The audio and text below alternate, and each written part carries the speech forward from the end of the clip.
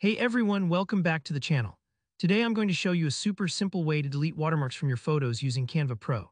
If you've ever struggled with an unwanted logo or mark on your images and you want that clean, professional look, this tutorial is absolutely for you. Stick with me till the end and you'll know exactly how to remove those pesky watermarks in just a few clicks using Canva's powerful magic eraser tool. Alright, let's jump right in. First, study your image for a second. It might be a photo you downloaded, maybe a draft you just finished, or a design someone sent you. You might spot a watermark lurking in a corner or splashed across the center. That watermark is usually there to protect images or to indicate ownership, but if you have the rights and you want a clean version, removing it is totally possible in Canva Pro. So with your image open in Canva, the first thing you want to do is simply click on the picture that contains the watermark. This probably sounds obvious, but it's a crucial step. The cleanup tools you'll need won't be available until you actually select the specific photo you want to edit. If you have multiple images on your design, just make sure you're clicking the right one, and you should see a border appear around it, which means it's selected. Now with the photo selected, look towards the top of your Canva workspace and find the Edit Photo button. Depending on your layout, this might just say Edit or Edit Image. Go ahead and click that.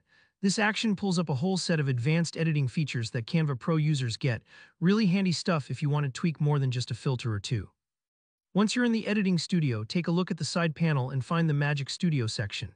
Canva has rolled out some fantastic magic tools recently, and the one we're interested in is the Magic Eraser. It often feels like having a miniature Photoshop right inside Canva, which is amazing if you don't want to juggle a dozen different apps. Go ahead and select Magic Eraser from the toolbox. Now your cursor should change, indicating you're in erasing mode. Think of it like holding a tiny digital brush. Here, where you get to work some real magic. Using your mouse or trackpad, gently lay your cursor over the watermark area and click and drag to brush over every part of the watermark you want to remove. You don't need to be surgically precise, but try to cover the entire watermark. If the mark is in a tricky spot or runs over a detailed background, take your time and go slowly. It might take a few extra seconds to get it just right. Don't worry if you have to go over it a couple of times. This tool is really good about blending the erased area into the rest of your photo so there aren't any awkward, obvious patches. Once you've covered the watermark, release your mouse and give Canva a moment. The software will process the change and just like that, the watermark disappears. Double check your image to make sure you're happy with the result. If there are any little spots left behind, just repeat the brushing process until everything looks seamless. And that's it, you've now got a clean, watermark-free image in just a few steps, and all without leaving Canva. Super easy, right? If you found this tutorial helpful, please give it a thumbs up.